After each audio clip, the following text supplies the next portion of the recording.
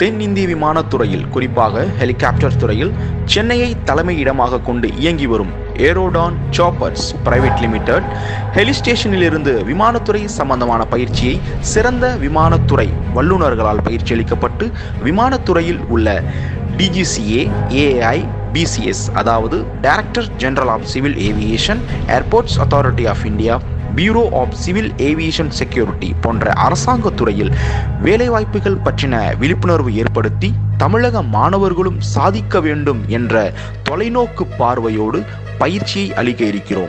மேலும் தனியார் விமான நிறுவனங்களில் வேலைவாய்ப்பினை பெற எங்கள் ஹெலிகாப்டர் மூலம் நேரடி பயிற்சியினை அளித்து உள்நாட்டிலும் வெளிநாட்டிலும் வேலைவாய்ப்பினை ஏற்படுத்தி கொடுப்பது எங்கள் நிறுவனத்தின் நோக்கம்.